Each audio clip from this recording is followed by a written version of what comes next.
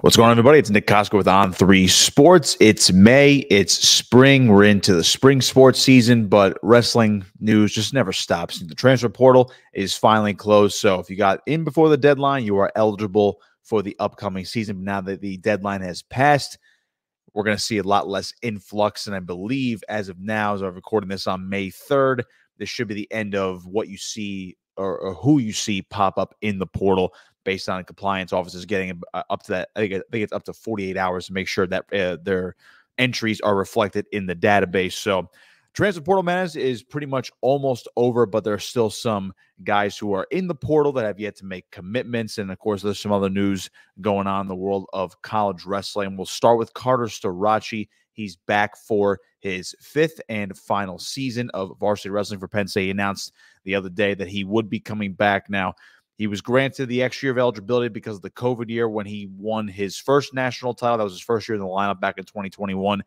was always going to be a free year. And then I think people were even talking about this back in 2021, or at least you had a thought in your head of if this guy is, really is that good, he has the opportunity to win five national titles. Now, that's never been done. If it is done by Starocci this upcoming season, it likely will never ever be matched because again, how do you win five national titles unless there's another global pandemic or something wacky comes out of out of the woodwork where a guy is granted five years of actual varsity eligibility. So uh Starocci's back. It's really no big surprise. You got to imagine the NIL deals were flowing in. He'll be paid handsomely, so to speak. That's just my educated guess with the way college athletics works, as we know, as we track it, of course, at On Three, and of course in our NIL space as well. But Starocci, I'm sure, is going to get well compensated for this final season. Uh, it's a matter of where he's going to go now because the, the Penn State lineup does have questions. Uh, I don't think Greg Kerkvliet, at least at, upon first inspection, has announced whether he's coming back or not. He has the opportunity to come back for next year as Penn State's heavyweight. I don't think he announced it yet. I think that they are leaning that he would come back, though. Uh, that seems to be the projection that he is going to be back at heavyweight. But Starocci's placement in the lineup now begs the question of all right, he just won four national titles at 174 pounds. He wrestled at 86 kilos at the Olympic trials, wrestled rather well, as I might say, with a bum knee essentially. And of course, he won his national title essentially on one leg and was just stout defensively the entire time and still got through his attacks. But because he went 86 kilos, he's well into the 180s right there. Could he go back to 174 next year? Yes, of course he can. I'm sure he can make the cut. Does he want to make the cut? Probably not. And he did tease, and I believe he told Flow Wrestling this among other uh, outlets out of the Olympic trials. He teased that he could go 197 next year and just take the spot of Aaron Brooks, who, again, another four time NCAA champion, and he'll actually be representing 86 kilos at the Paris Olympics this summer for Team USA, beating David Taylor, the reigning gold medalist uh, from the United States. So Brooks is again, Brooks isn't coming back, but you could see Starocci bump to 84. You could see him go 97, and you know why not jump up two weight classes if he's already walking around towards that weight? He'd be the favorite at 197. I could see it. Uh, but if he goes up a weight class, it does reopen some spots. And there's going to be a lot of lineup questions. I know there's talk about uh, you look at Levi Haines and Mitchell Mesenbrink at 57 and 65. Do those guys actually swap weights next year? Uh, 174 reopens if Starocci does not go that way. Alex Facundo took the Olympic red shirt this year. He's an excellent, excellent wrestler, and I'll tell you what, he might be in the run. He'll be on the short list for a, for a national title at 174. He is that good as a redshirt sophomore going into next season. But if Starocci does go up, that means Facundo could slide right into that spot. Remember, he was a national qualifier in 2023, took the Olympic red shirt this past year. So he's obviously jumped levels uh, in the year since. So he slides right in right there. And then, of course, you have the redshirt freshman Josh Barr, a much anticipated debut in the varsity lineup next year. That could be a big possibility at 184. And again, that puts Starocci up at 197.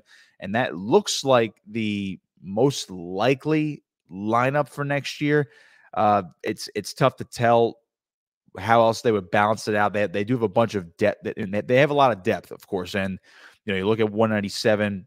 You know, Lucas Cochran uh, is a steady backup. It was a steady backup to Aaron Brooks, and obviously we saw him above the heavyweight. And he beat an All American in uh, uh, Yaroslav Slavikouski in the duel against Rutgers. So Cochran's a great option at 197. But of course, if Starocci's going to go 97, you're going to put Starocci, the four time champion, going for his fifth national title in at that weight. The Mirasolas are in next year at 197 and heavyweight, respectively. So I would imagine Cael wants to get them a red shirt year, prepare them, uh, you know, sitting behind Starocci and Kerkvliet, hypothetically, this coming season, and then get them in for the 25 26 campaign. So that seems to make the most sense when we look at it on paper. I'm, I'm scrolling through WrestleStats uh, projected lineup as well. Of course, you know they, they have a bunch of questions down low as well as far as who's going to go what weight, who's going to red shirt, who's going to come back into the lineup. I know there's a big question of Tyler Kasak. He'll probably end up red shirting next year as Shayne Van Ness returns from injury at 149. So they're going to be loaded once again. Beau Bartlett said he's coming back as well. So you know they're gonna they're, they're essentially going to run it back in 2025. And if Starocci uh, ends up going up to 197, probably the best move for him and the lineup. And again, wherever he goes, 74, 84, 97, he's going to be the national title favorite. He's going to try to make history. Again, he joined his teammate Aaron Brooks in becoming a four-time national champion. That, that, that's a rare class of its own.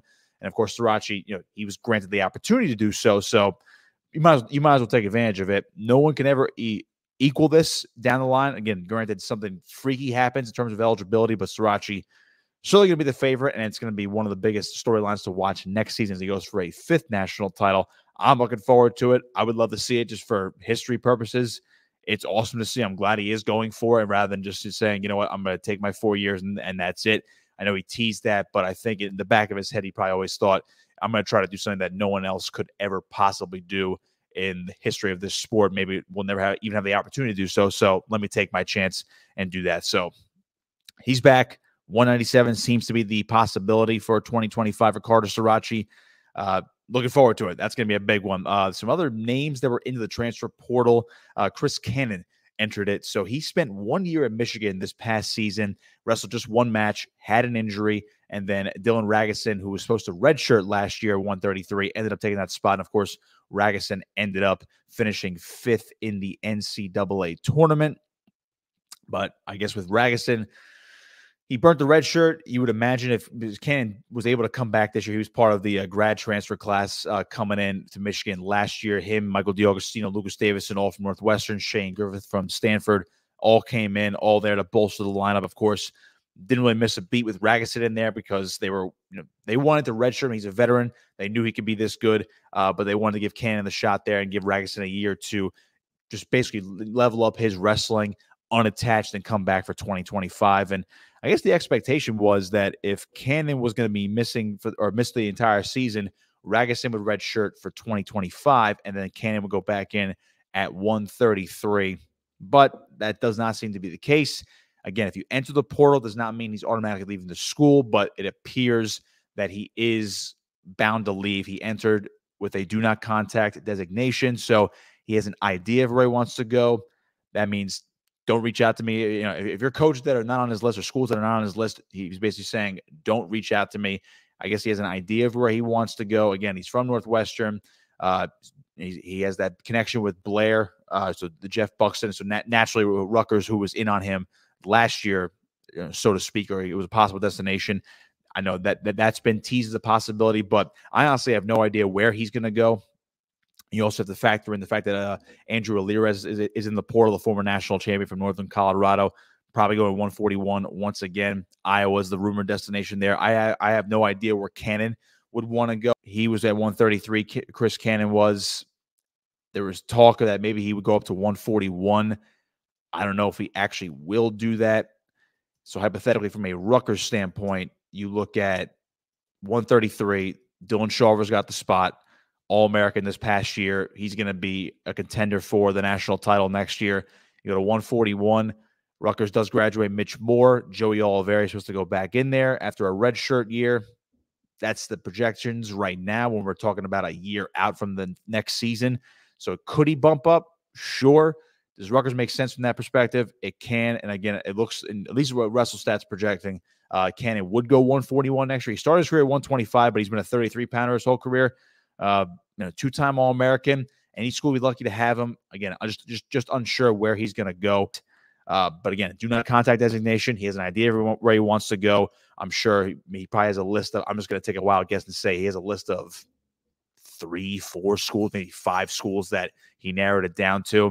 Again, only has one more year of eligibility, but whoever gets him is going to get a two time All American and certainly a contender for the podium once again in 2025.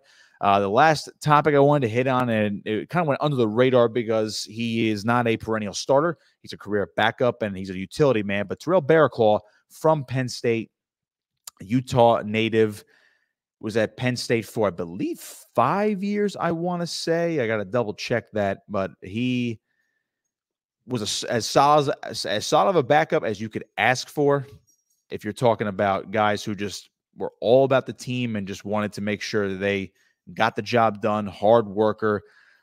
Uh, let's see. He was there for five seasons, five seasons. So he was 49 early on, 57.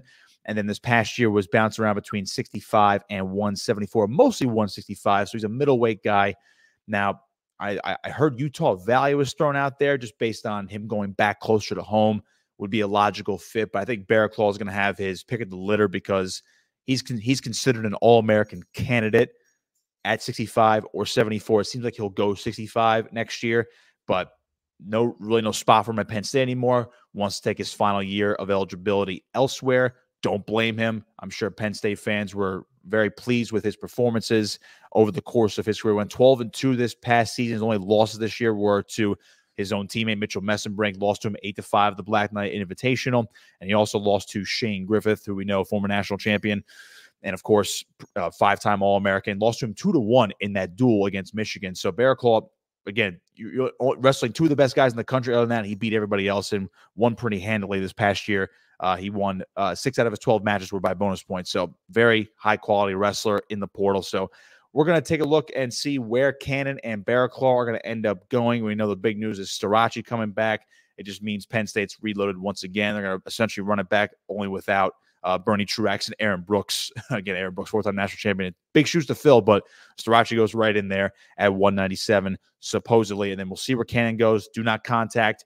So he's probably narrowed down to a couple schools. Barraclough, again, no idea where he would go. Utah Valley makes sense from a going back home perspective. That's just off the top of my head. Otherwise, we're going to have to wait till this stuff starts trickling out over the next couple of weeks. And again, they don't have to be in a rush to make a decision. You have to enter the portal by that deadline, but there's no deadline on making a decision. I guess it just has to work out academically, and of course, by an, an, enrollment deadline at a school. So they had they do have plenty of time. So I'm sure we're going to see this process play out. So two got two viable more uh, two more viable guys in the portal, a two time All American, and of course an All American candidate in the portal as well. So that's going to do it for me for this time around. More wrestling news will come around the corner. I'm sure we'll be here to cover it at On3. Be sure to follow me on Twitter at Nick Kosko59. Follow On3 on all social media handles. Be sure to like and subscribe this video and the channel as well. And go to On3's YouTube and subscribe to the channel as well. So I'm Nick Kosko saying so long. For more college wrestling news, be sure to keep it up to date on Twitter and follow On3.